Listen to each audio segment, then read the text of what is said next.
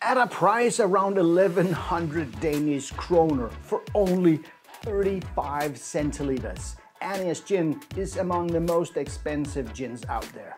And the question is, of course, is it worth it? Well, let's check it out.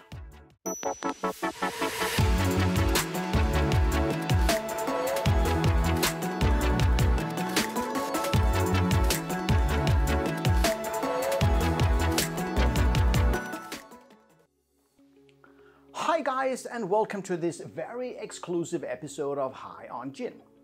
A couple of days ago I had the pleasure of meeting up with Mike Laursen, a young gin enthusiast with a very impressive gin collection, and Kenneth Nielsen, that is the co-owner of ginbutikken.dk and is the reason why Mike and I got our hands on this very exclusive gin. We met up online to taste the gin together. Annia's gin is an Austrian gin that is made by Schnapsbrennerei Rochelt. I hope I pronounce your name right. The distillery is run by the second generation of the Rochelt family that has been known for making some of the finest fruit brandies in Tyrol. The gin was originally made as a birthday gift to Alexander Reiner's wife Annia. Alexander is the master distiller and the son-in-law of the uh, founder uh, Günther Rochelt. The first batch was only 20 liter, but the result was so good that they decided to continue the production. And the gin is based on their Gravenstein apple brandy and then distilled with local juniper berries. So only two ingredients in this gin here. And as a footnote, Gravenstein apples are actually declared the national apple of Denmark in 2005. And here's a bit of history because Gravenstein was imported into Denmark by Count Frederick Ahlenfeldt the Younger, who lived between 1662 and 1708. And he brought the apples uh, home to his family's Gråsten Palace, and the apple cultivar uh, was named Gråsten or Gravenstein. Gråsten Palace is today the summer residence to the royal Danish family. Well, enough about that. Back to the gin. The foundation for the gin is uh, Rochelt's uh, apple brandy. That is made with hand-picked uh, Gravenstein apples from the uh, southwestern region of Styria in Austria that offers perfect climate conditions uh, for the apples to develop this subtle flavor uh, through the variation between you know very hot summer days and very cool summer nights.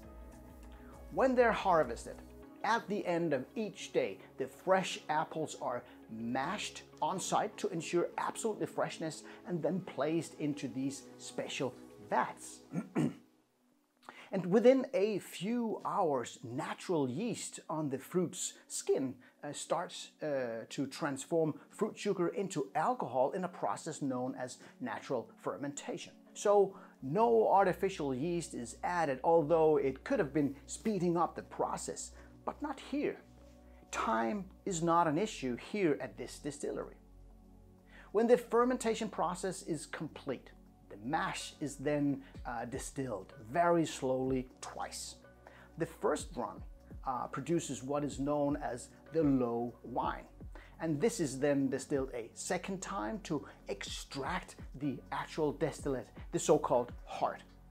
To produce one liter of heart, they use up to 80 kilos of apples. The distillate is then left to mature in glass balloons for up to 10 years, giving the flavors a chance to fuse with the alcohol and create this very special taste. 10 years. And since the top of the glass balloons are only covered with a piece of linen cloth, uh, over time, uh, a certain proportion of the alcohol contained in the distillate evaporates. You know, this is uh, known as the angel's share. I love that expression. To make the gin, local juniper berries are hand-picked and hand-sorted. And no more than approximately 10% of the wild juniper berries uh, can be used as they only want um, the ones that has this brownish blue color with this red shimmer as these has the highest concentration uh, of essential oils and therefore the most flavor. The juniper berries are then mixed with this up to 10 year old matured Gravenstein apple brandy and then distilled very slowly one more time.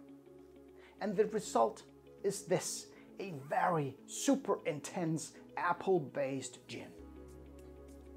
Oh, I wish you could smell this. Wow, the gin. In the nose, you get this intensity of the apples, this sweetness, this juiciness, and this woody, earthy notes. You know, almost like the gin had been maturing in a cask. I don't particularly notice the juniper berries in the nose, but you know, I would have loved to be able to compare the gin with the apple brandy that it is based on.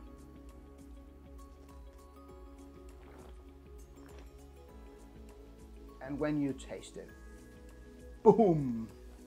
Wow!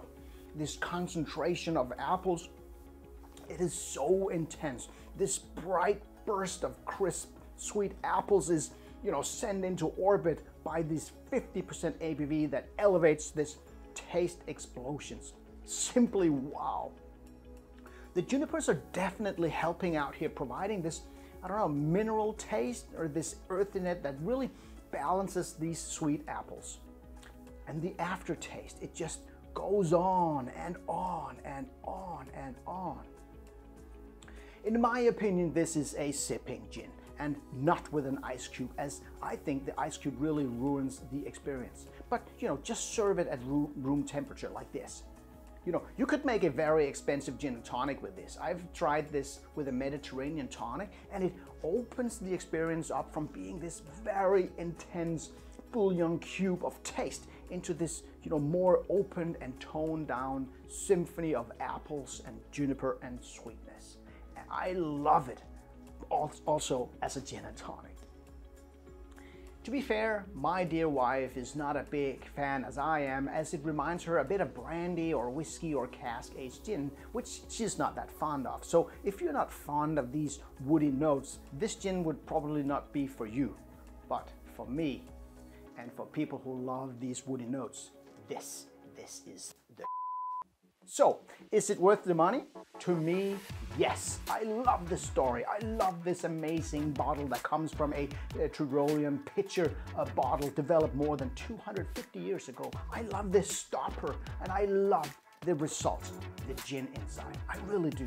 This is what Rolex is to a watch or Manolo Blahnik is to women's shoes. And it's still much cheaper. And who would have thought that I would use the word cheap in an episode like this? So here is to craftsmanship, to all the master distillers that goes to any length to give us these amazing experiences. And especially to you, ginbutikken.dk. Here's to you for going so far to get a few special bottles to Denmark. You guys rock. Your hard work with these special editions are highly appreciated. Until next time.